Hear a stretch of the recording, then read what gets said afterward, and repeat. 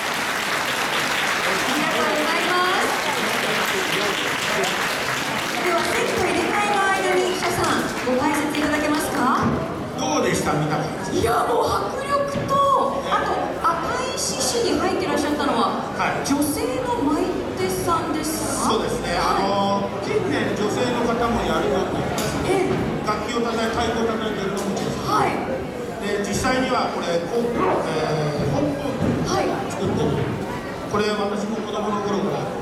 形を使ってこのまあ大きさと多分2号だと思うえええかなり重たいんですよはいでもう上げたり下げたりするだけで、今私がやったら次の仕事ができるあらららまず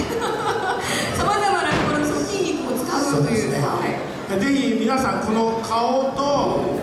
尻尾をはい頭に入れて次の演者さんたちがねまた違う CC 持ってくると思うのでおぜひその辺で、はい。その違い。あとですね8つの見方あります。喜ぶ怒る驚く、えー楽しい。あと酔っ払う。あとは、えー寝る起きる。あもう一個なんか忘れちゃった。いやそういうそれを踊り手さんが頭に入れてしますのでそういう見方で見てもらうともっと楽しい。今何やってるんですか